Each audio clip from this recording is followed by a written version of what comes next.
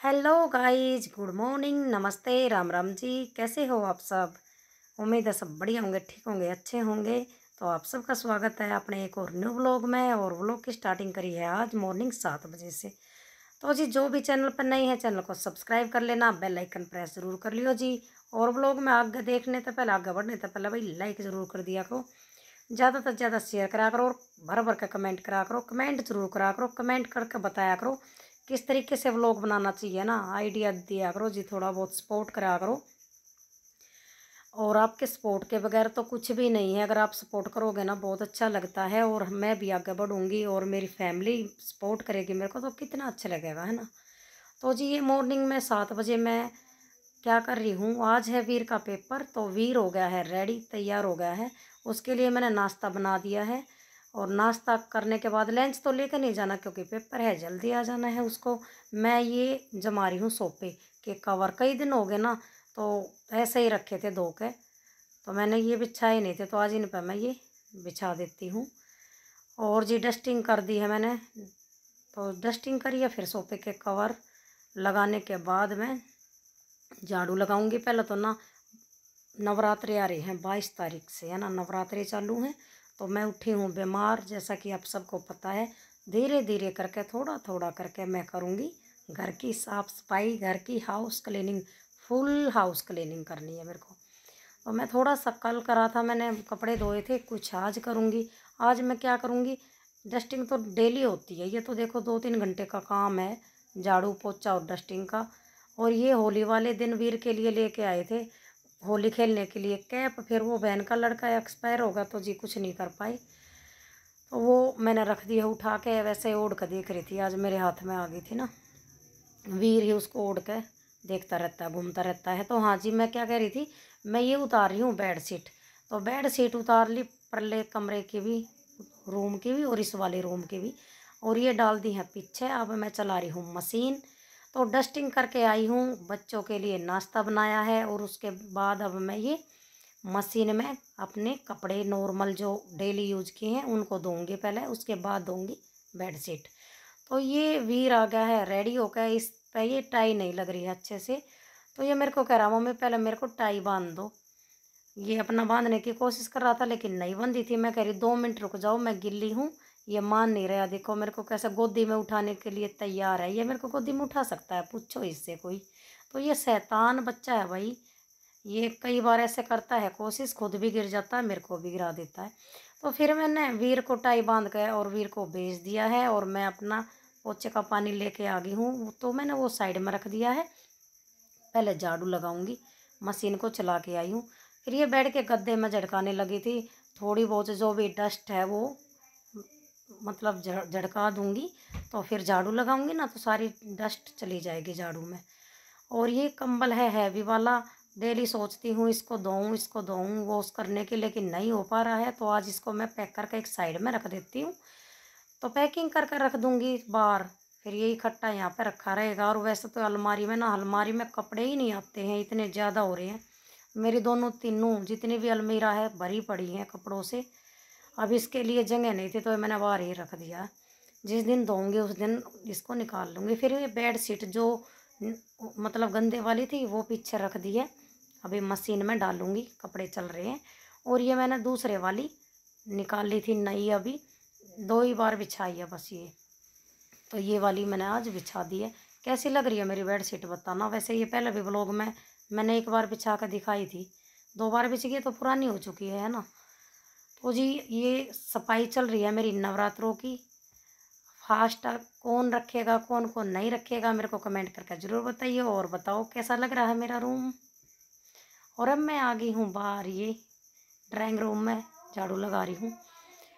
अब नीचे नीचे डस्ट है पूरे घर में ना, ऊपर की क्लीनिंग हो गई है, नीचे की रह रही है तो नीचे अब मैं झाड़ू लगाऊँगी बैठ के आराम से धीरे धीरे क्योंकि वीर चला गया है, मेरे को डिस्टर्ब करने वाला, मेरे को परेशान करने वाला नहीं है। ग्यारह बजे आएगा, इतना मैं अपना काम कर लूँगी फटाफट। और खाने में क्या बनाऊँगी, वो मैं सोच रही हूँ धीरे धीरे सब्ज़ी तो बहुत सारी रखी। तो जी, अभी मैं बैठी हूँ, आप पपीता लेके आ जाओ, आप भी खा लो। पहले पपीता खा के उसके बाद फिर मैं दवाई लूँगी, फिर बाकी के सभी काम करूँगी। तो आ जाओ, आप भी खा लो। थोड़ा सा लिया बस। सुबह ना खाना चाहिए थोड़ा सा पपीता। और वैसे भी मैं बीमार हूँ तो ये मरीज़ का खाना है। चिक्कू पपीता ज़्यादा बीमारी खाते हैं ना। और जी अब आ गई हूँ मैं किचन में। तो आपको मैं नाई नाई भी लग रही हूँ ना क्योंकि मैं सुबह नहा ली थी उठते ही के साथ ना। सबसे पहले नहाई नहा कर मैंने पूजा करी। अब गर्मी आ गई है तो सुबह मैं ताज़ी पानी में नहा ली थी, नहा के पूजा करके फिर काम में लगी थी। आज मेरे को साड़ी पहननी थी, मेरा मन था, इच्छा थी मेरी।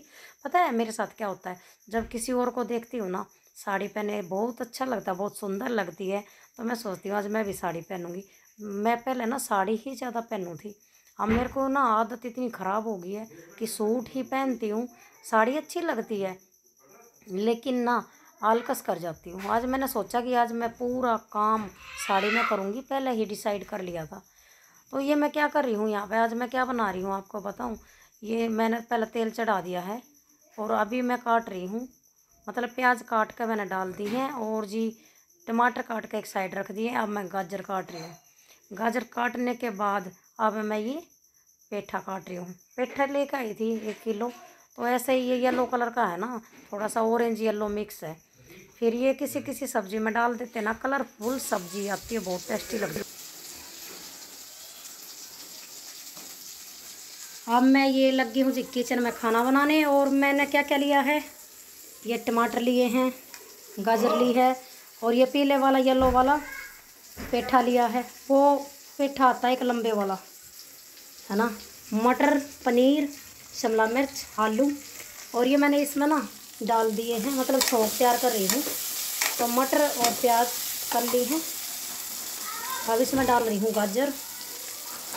थोड़ी सी गाजर भुन जाएँगी। फिर उसके बाद ये गाजर भुन गई है। अब डाल देती हूँ टमाटर। और गैस कर देती हूँ थोड़ी सी तेज थोड़ा सा नमक पहले भी डाल दिया, टमाटर भुनी थी ना। थोड़ी सी ये डाल दी लाल मिर्च। और इसको चला देते हैं। मिनट अब पकेंगे मसाले, उसके बाद फिर डालूँगी शिमला मिर्च और आलू। अब मसाले पक चुके हैं तो जी हम डाल देते हैं इसमें। शिमला मिर्च है ये लाल, हरी और आलू। और अब सब्ज़ी को चला के थोड़ी सी देर ढक देते हैं। फिर थोड़ी देर बाद देखेंगे दस मिनट बाद की सब्ज़ी कैसे बन के तैयार होती है। आपको दिखाऊँगी मैं। अब देखो जी, ऊपर से मैंने डाल दिया है पनीर। सब्ज़ी बन के है रेडी। तो ये पनीर डाल दिया है। पनीर डालने के बाद और भी अच्छा कलर आया है। बताना आपको सब्ज़ी अच्छी लगी है ना तो प्लीज़ लाइक कर देना। चैनल को सब्सक्राइब ज़रूर कर लेना और जी बेल आइकन प्रेस ज़रूर कर लिया करो ताकि हर व्लॉग, हर वीडियो आप तक पहुँच सके। आ जाओ जी, खाना खा लो। मैंने ली है सब्ज़ी, दही और रोटी। और अब खा लेती हूँ मैं खाना। बच्चों ने खा लिया तो आ जाओ आप सब भी खा लो। और जी, खाना खाने के बाद मैं आ गई हूँ पीछे।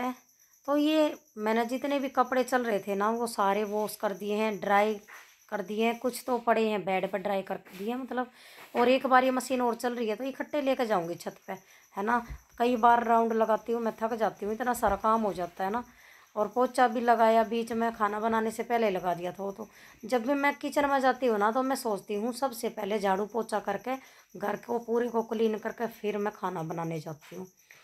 मतलब जहाँ तक होता है, मैं ऐसे ही करती हूँ। कभी कभी को तो कहती नहीं हूँ, देखो, हो जाता है कि भाई थोड़ा सा आगे पीछे। और ये कपड़े मेरे धुल गए और फिर मैंने बाल्टियाँ भी साफ़ करके रख दी हैं और पीछे से गैलरी भी साफ़ कर दी है। तो फाइनली मेरा काम पूरा क्लीन हो गया है। कपड़े निकाल लिए हैं मैंने ड्रायर में से। तो ये कपड़े और भाई जो अंदर रखे हैं बेड वाले, अब इनको लेकर मैं जाऊँगी छत पे, क्योंकि अभी इनको सुखा के भी आना है ना। तो जी, चलते हैं।